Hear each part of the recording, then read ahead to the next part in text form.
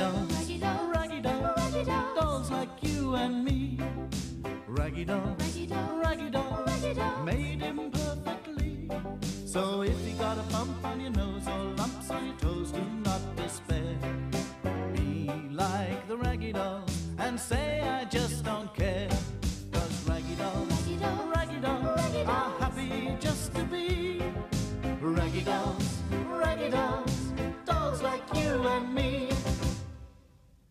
One morning, Claude got up very early to make the raggy dolls a surprise breakfast. He changed his beret for a chef's hat, put on an apron, and set off for the factory canteen.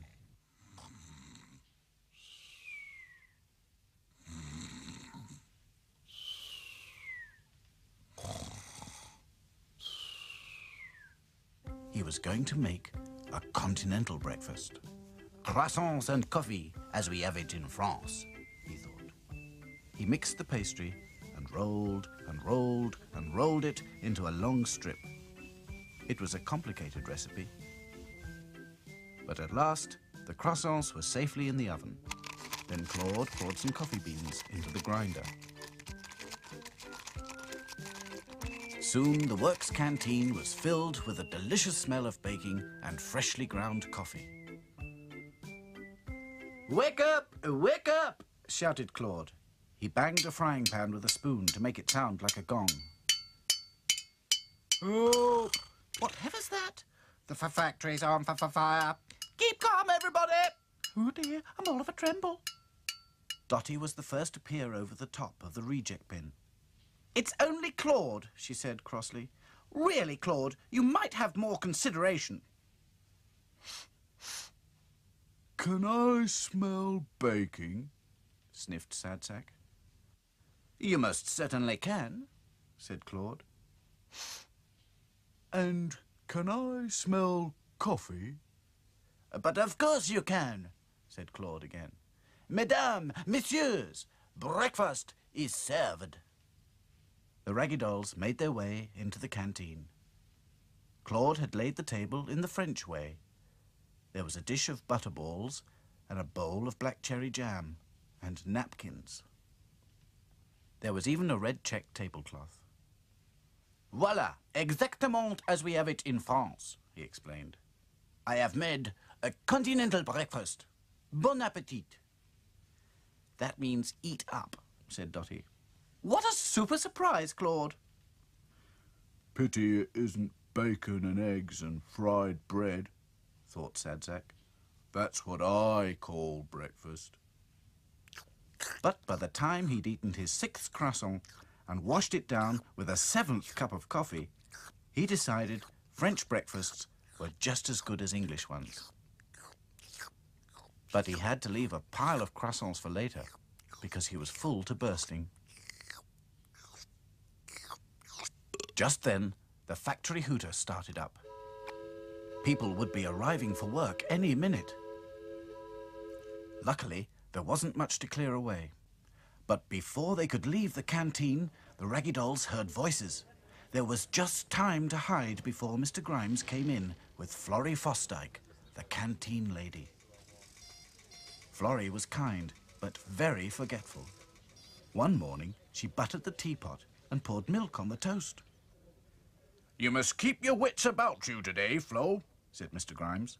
There's a competition for all the factories on the trading estate. Each canteen has to make a cake, and the best cake wins a prize. And I want Grimes's Toy Factory to win that first prize tomorrow, Flo. You won't be disappointed, sir. said Florrie Fosdyke. She flicked through the pages of her recipe book. There was a large picture of a sponge cake with layers of raspberry jam filling, topped with marshmallow and chocolate sauce. Mr. Grimes agreed that that was the kind of cake most likely to win. The Raggy Dolls watched as Florrie set out everything she needed on the table. A mixing bowl, scales to weigh things, and a spoon for stirring. The sponge cake recipe said one cup of flour, three quarters of a cup of sugar, half a packet of margarine, two large eggs, and a little water. For the filling and topping, it said half a jar of raspberry jam, one bag of mixed marshmallows, pink and white, and a slab of melted cooking chocolate. Oh, groaned Sad Sack. If only I hadn't eaten so much breakfast. Claude looked on with interest as Florrie set to work. Butter cake, butter cake, baker's man. Bake me a cake as fast as you can. It and nick it and mark it with G. And there will be plenty for Grimesy and me. Florrie sang as she worked and forgot to look at the recipe book. She's p- p- putting the sh- shells in with the eggs. Crackled Hi-Fi, That's never one cup of flour. whispered Lucy. More like a bucketful, agreed back to front. Now she's adding salt instead of sugar. Princess gasped. Sacre bleu! This is an outrage! spluttered Claude. Florrie poured the awful mixture into two sandwich tins and put them in the oven, which she turned up much too high. Then she set off with her trolley to see if anyone in the factory wanted a quick cup of tea. By the time she came back, the cake was beginning to burn, Funny? What's that smell? thought Florrie Fosdyke. She'd forgotten all about baking a cake for the factory competition. She looked at the oven. Smoke was curling out. Then she remembered. Oh, heck, yes. Well, uh, oh, never mind. I'll tell Mr. Grimes it's a chocolate cake. He'll never know the difference. When the cake was cool, Florrie dolloped the raspberry jam between the layers and covered the top with melted chocolate and marshmallows. It didn't look anything like the picture in the recipe book. Hmm, not bad. It's quite eye-catching. she thought. When Florrie had gone home, the Raggy Dolls went to see what the cake looked like. Perhaps it wasn't as bad as they thought. But it was. I don't think Grimes's toy factory has much chance of winning that competition tomorrow. Do you? said Sad Sack. Yeah, about as much chance as an egg in a concrete mixer, chuckled back to front. It's no laughing matter, said Dotty. The honour of the factory is at stake. Claude was disgusted. He sat with his head in his hands, muttering in French. Quel dommage! Juste ciel! Zut alors! Then suddenly he jumped up. I have it, he cried. I, Claude the chef, will bake another cake to replace that, how you say, thing. What a spiffing idea, said Dotty. Oh, yes, Agreed Princess. Claude is ever such a good cook. Action stations, cried back to front. Raggy dolls to the rescue. There was plenty of flour, chocolate, sugar, and marshmallows left in the larder, but no eggs or raspberry jam, We can use what's left of the cherry instead of raspberry jam. said Princess. It was absolutely delicious at breakfast. Good thinking, agreed Dotty. But what about the eggs? Lucy went to see if the hens had laid anything lately.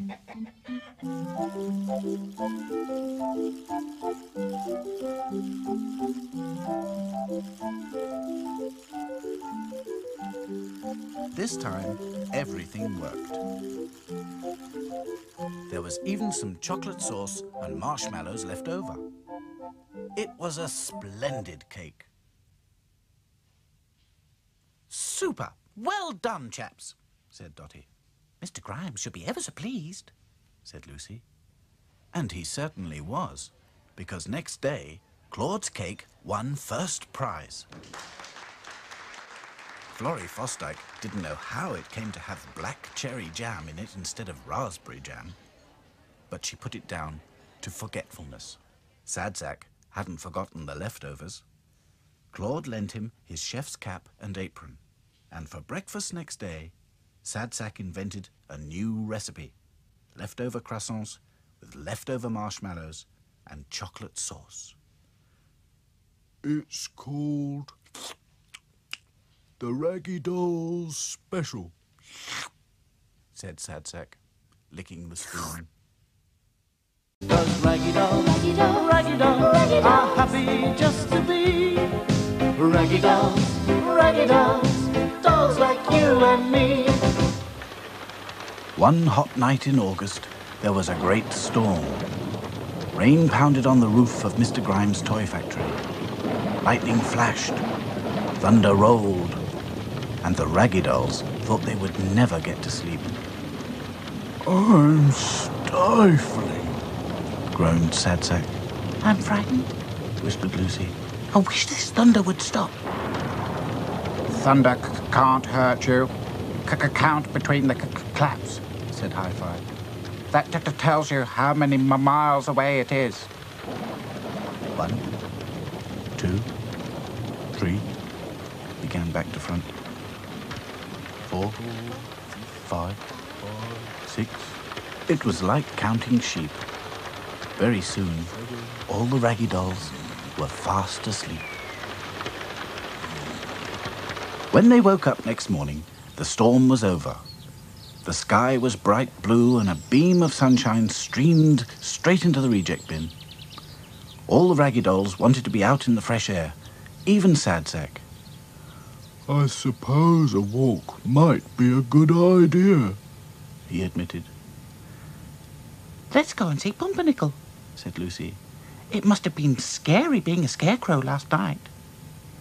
You're telling me, agreed back to front. So, after breakfast, they all set off through the fields to visit Pumpernickel.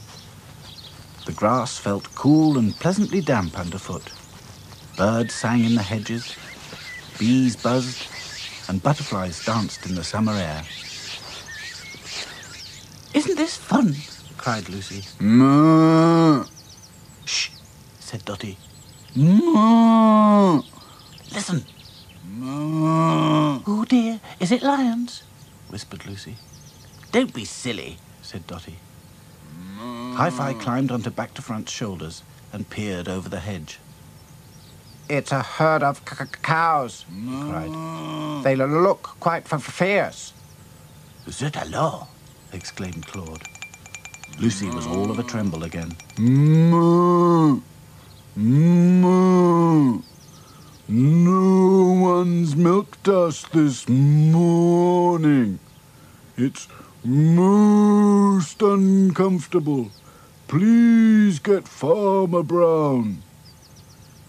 Uh, righto, no problem, said back to front nervously. In the next field, the Raggy Dolls saw some pigs. They were also making a dreadful noise. Where's Farmer Brown? We want our breakfast. The trough's empty. We're starving. They grunted. Hmm. I know just how they feel. thought Sad Sadsack. Soon the Raggy Dolls reached Pumpernickel's field. At first, they couldn't see him, but when they came closer, they found him lying flat on his face in the mud. Are you all right? Asked Back to Front anxiously. Help me up. cried Pumpernickel. Set me straight. Mais oui, immédiatement, said Claude. But how? Get Farmer Brown. He'll know what to do. Roar! groaned Pumpernickel. Claude took off his scarf and laid it under the scarecrow's face so that his nose wouldn't stick into the mud anymore. Then the Raggy Dolls hurried to One Pin Farm where Farmer Brown lived. They peered through his windows. They banged on his front door and on his back door. But there was no one at home except Rufus, Farmer Brown's faithful old dog. He was locked indoors and started barking when he saw the Raggy Dolls. Roo! Roo! Roo! Where's your master? called Dotty. There's been an accident. Explained Princess. Pumpernickel's fallen down. The p- p- pigs need for feeding, and the c- cows need m- m- milking. No, I need letting out of this house. barked Rufus crossly. Where's his lordship? We thought you'd know that, said Dotty. Well, I don't. snapped Rufus. He didn't like being locked indoors. Back to front was looking in the barn. It was empty. No tractor. That's funny, he thought. Farmer Brown doesn't usually take his tractor out so early. Something's happened, said Dotty. I expect it was that storm last night. This calls for action, everybody. We must put our thinking caps on. Sadsack was crouching over some tracks in the mud. If you ask me, he said, those are tractor tracks. I bet we find the tr- tractor at the end of them, said Hi-Fi. Et voilà! And Farmer Brown, said Claude. The Raggy Dolls managed to open the back door and let Rufus out. In return, he let them ride on his back as he followed the tracks in the mud. Giddy up! Attaboy! Search, Rufus! Farmer Brown was in desperate trouble. Last night, he'd been driving home in his tractor when the storm broke. In no time at all, the lane had turned into a river of mud. It looked as if there was a landslide ahead. So he climbed down to investigate, and before he knew how it happened, he slipped down a steep bank and found himself at the bottom of an old mine shaft. Lucky to be alive. Help! called Farmer Brown. He'd been calling for help all night, but no one had heard him. Help! Help! Shh!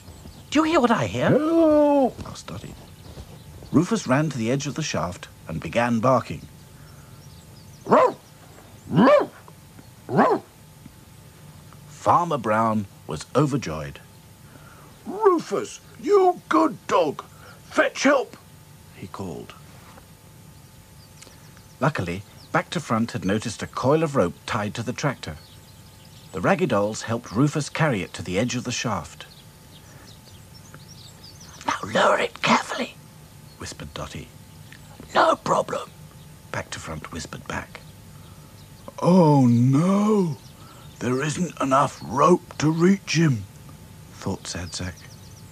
But there was. Only just. Rufus barked and barked as Farmer Brown began pulling himself up the slippery bank. Let us hide, my friends, whispered Claude. We don't want him to see us, agreed Lucy. So the Raggy Dolls crept into the trailer and hid under some old sacks. Presently, they heard Farmer Brown saying, Clever old Rufus. Fancy remembering that rope. You deserve a medal. And then the tractor engine started up and the trailer began jolting on its way. It's not fair, said Sadsack. Back to front found that rope. He should get the medal, not Rufus. I don't mind, said Back to Front. Farmer Brown's safe and we're on our way home again. That's what matters. Well said, said Dotty. As soon as he'd had some breakfast, Farmer Brown was out in his fields again, milking the cows, feeding the pigs, and seeing to Pumpernickel. Oh dear, said Princess. I've just remembered something. Claude's scarf, cried Lucy. Oh, c'est la vie, said Claude. It is of no importance. In the factory, there is another whole box of them. For once, that scarecrow will look, how you say, très élégante. Farmer Brown didn't know where Claude's scarf had come from. He stuck it in Pumpernickel's pocket, and for a scarecrow, Pumpernickel did look unusually smart. It's not much of a life when you're just a pretty face. Just to be whoever you are is no disgrace. Look around and you will find people of every kind, like Raggy dolls, Raggy dolls, raggy dolls, raggy dolls, dolls like you and me. Raggy dolls, raggy dolls, raggy dolls, raggy dolls. made imperfectly. So if you're not at ease with your knobbly knees and your fingers are all fussed, stand on your two left feet and join